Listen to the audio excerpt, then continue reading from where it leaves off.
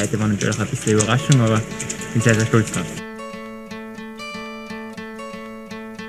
Und merken Sie sich diesen Namen und dieses Gesicht.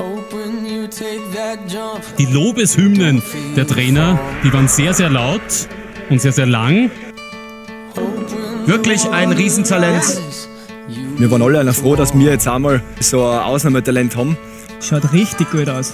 Also schön auf Zug, super Technik, gefällt mir gut. Von diesem Mann können wir einiges erwarten. Ja, der geht, der geht weit, der geht weit hinunter. Er schafft 147,5. Und Johannes Lamperter mit seinem zweiten Sprungsieg im Weltcup. Lamperter gegen Rieber heißt das Duell im ersten Bewerb in diesem Weltcup Winter. Ah, Johannes schaut aber auch noch gut aus. Was für ein Erfolg. Gratulation. Er hat den besten Kombinierer der letzten Jahre bis zur völligen Erschöpfung getrieben. Es war sicher das härteste Duell seit Lillehammer 2017 gegen Erik Frenzel. Jetzt geben Sie Gas. Wer kann hier jetzt noch folgen? Lamperter sieht nach wie vor ganz frisch aus, ganz locker, wie er diesen Berg hochgeht.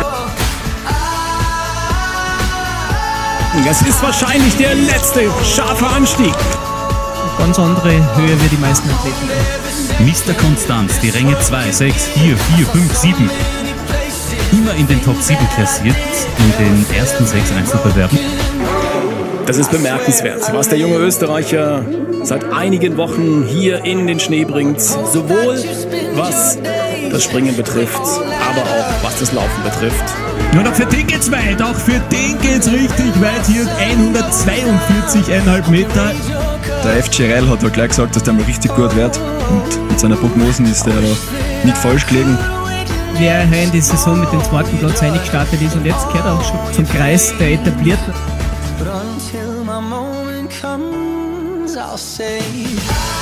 Der schaut super aus! Bravo, Johannes Lamparter! Super Sprung! Auch noch gute Noten. Wer liefert hier ab? Unglaublich. Da kann. Das glaube ich nicht. Viermaliger Juniorenweltmeister. Unglaublich seine Vorstellung. Und er schreibt wirklich wieder Geschichte, wird der zweitjüngste Weltmeister in der nordischen Kombination der Geschichte mit seinen 19 Jahren. Gratulation! Unfassbar! Yes! Und jetzt stehe ich da mit Weltmeister. Weltmeister Johannes Lampert hat das mit erst 19 Jahren.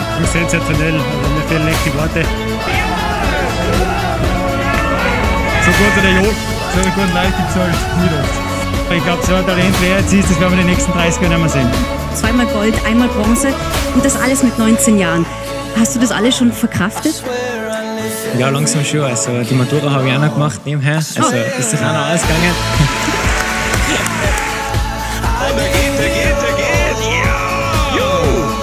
Der schaut schon wieder hervorragend aus! Wo fliegt der schon wieder hin? 114,5.